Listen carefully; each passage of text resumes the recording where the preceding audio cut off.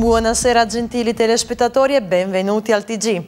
Oltre al deposito fisso di riciclaggio agli Elencicci, gli abitanti della città di Pisino possiedono anche il cosiddetto deposito mobile di riciclaggio che la società di servizi pubblici di Pisino, Usluga, sposta secondo un programma prestabilito dai comitati locali. Questa settimana il deposito di riciclaggio si trovava a Vermo, più precisamente a Sottovermo. Si tratta di un contenitore chiamato centro di riciclaggio mobile in cui gli utenti possono portare rifiuti che altrimenti non potrebbero smaltire altrove. Ad esempio, cosa non finisce nei rifiuti misti, cosa non va nei contenitori della plastica, nei contenitori metallici, nella carta, nel cartone e simili, affinché tutto possa essere portato nel centro di riciclaggio mobile. Oltre a molti altri numeri chiave come il vetro piano, i pneumatici delle automobili o altro come batterie e rifiuti simili, ma soprattutto quei rifiuti pericolosi generati in ambito domestico come ad esempio i resti di erbicidi, pesticidi, alcune vernici e colori, ovvero tutto ciò che non finisse effettivamente nei rifiuti urbani misti. Quindi l'intenzione del deposito mobile di riciclaggio è di andare in giro per il paese quindi per questo l'abbiamo reso mobile, diciamo per Pisino lo abbiamo messo nei luoghi di 12 comitati locali perché tutti gli utenti possano usufruire dei suoi servizi, cioè avvicinare il servizio di smaltimento di questa tipologia dei rifiuti. L'orario di lavoro del deposito mobile di riciclaggio è il lunedì e mercoledì dalle 12 alle 15, poi il martedì e il giovedì dalle 15 alle 18 mentre è chiuso la domenica e i giorni festivi.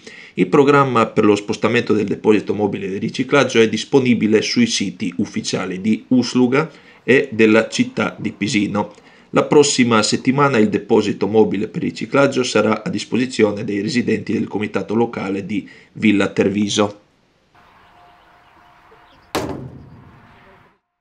Alla cerimonia di premiazione della giornata dello sport istriano, tenutasi ad Umago, sono stati proclamati i miglior atleti e operatori sportivi della regione istriana.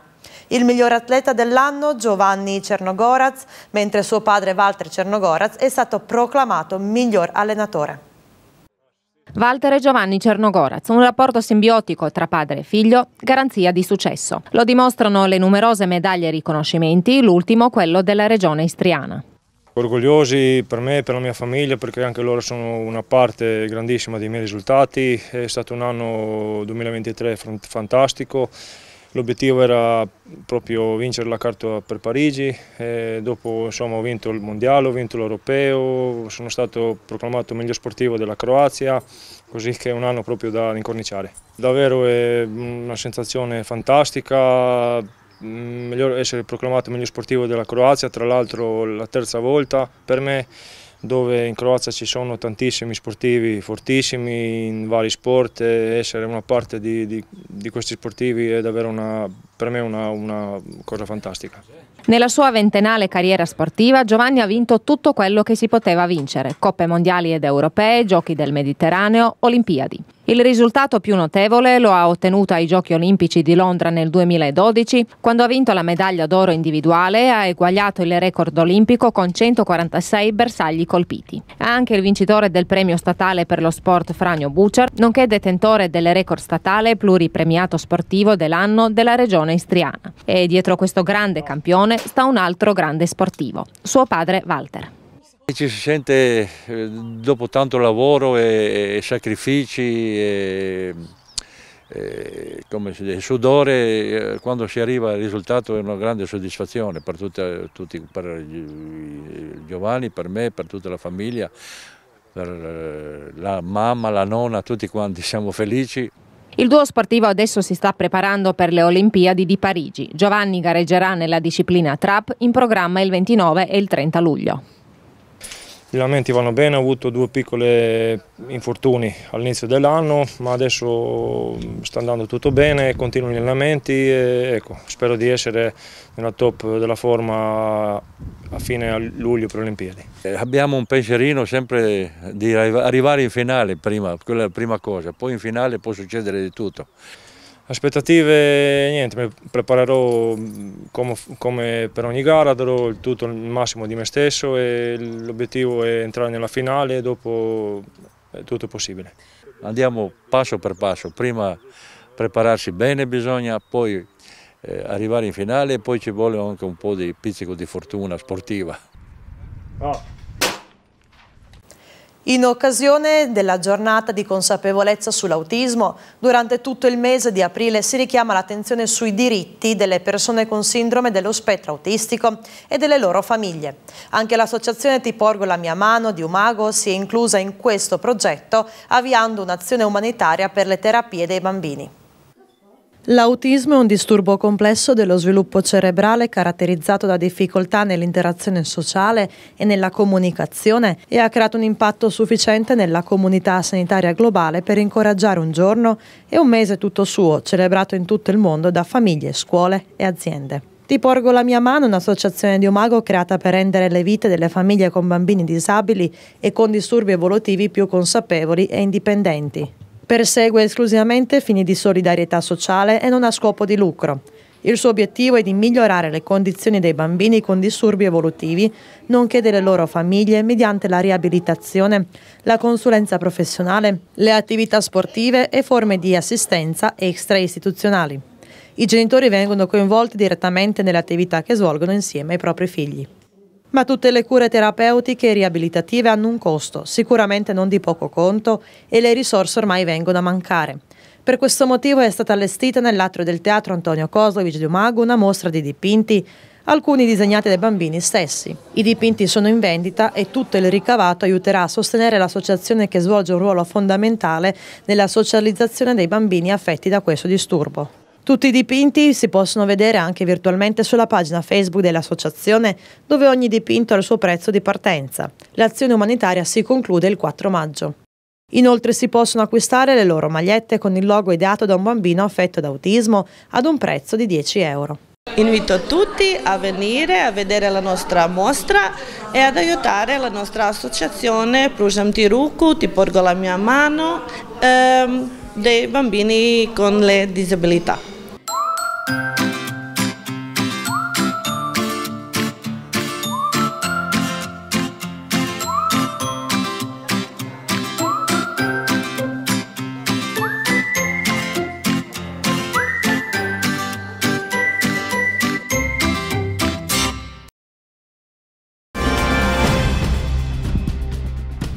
TG Flash, Vodovod Pola informa i cittadini che domani dalle ore 8 fino a mezzogiorno sarà sospesa l'erogazione dell'acqua potabile nella città di Pola dovuta ai lavori sulla rete idrica in via Modrushan dal numero civico 31 al numero 35 e in via Lovesic dal numero civico 1 all'11 e dal 45 al 77.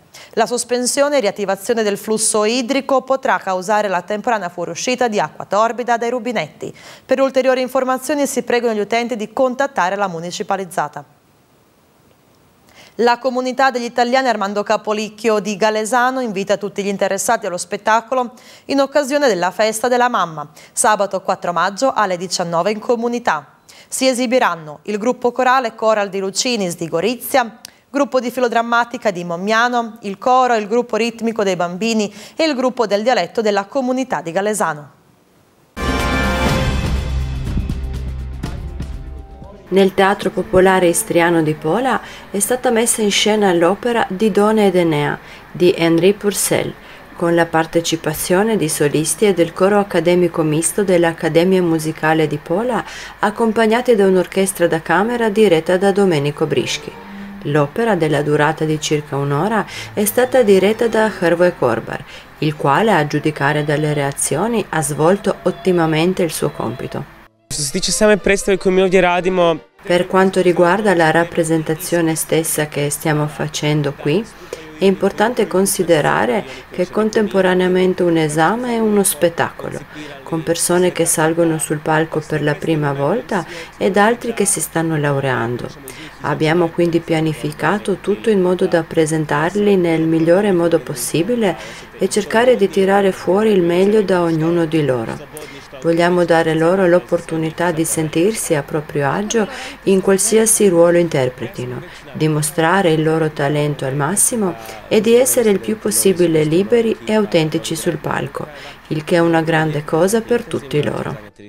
L'opera è stata eseguita in due serate, con Mirta Topalušić nel ruolo di Didone nella prima e Ena Lesic Jovanovic nella seconda serata.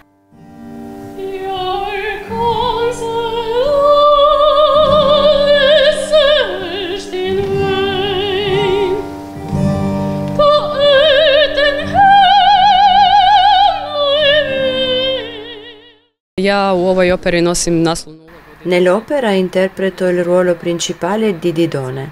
Lei era la prima regina di Cartagine.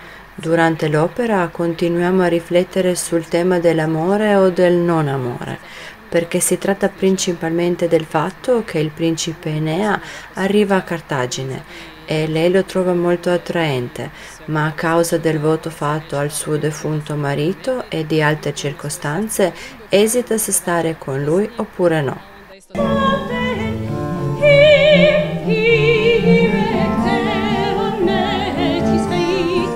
L'autore della coreografia in questa opera è Mattia Ferlin.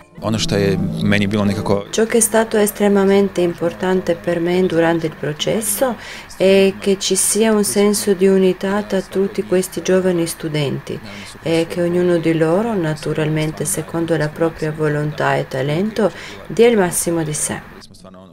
La produzione di opere fa parte del programma annuale dell'Accademia Musicale di Pola.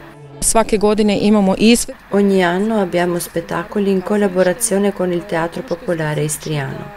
Ciò che è specifico è che lo studio del canto solista è un percorso abbastanza impegnativo, con molti corsi complementari che li preparano per una loro futura professione. Quindi durante l'anno hanno corsi di studio come ruoli operistici, recitazione operistica e movimento scenico. Attraverso questi corsi si preparano per le esibizioni sul palco. Il direttore dell'orchestra da camera era Jože Halusa e gli applausi ricevuti alla fine hanno evidenziato il fatto che lui, così come tutti coloro che hanno partecipato alla rappresentazione, abbiano svolto magnificamente il loro compito.